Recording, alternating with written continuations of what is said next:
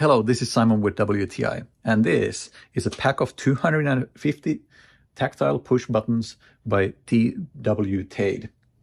And they come in these neat little um, compartments. So some of these you have 10 of, the other ones, the, the smaller ones, you have 15 of each, and then the largest ones, there's there's five of each. And you can see they have uh, different diameters and different lengths. Um, mainly the two sizes, the two usual sizes, the 6 by 6 millimeter base with different heights, and then the 12 by 12 millimeter base with different heights. So depending on what your project is and how you need this to be uh, in your, how these need to be in your product, you can choose a different height.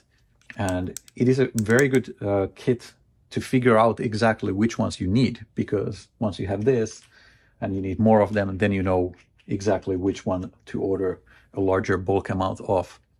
So if you like to build things, make things, uh, this is a nice little kit.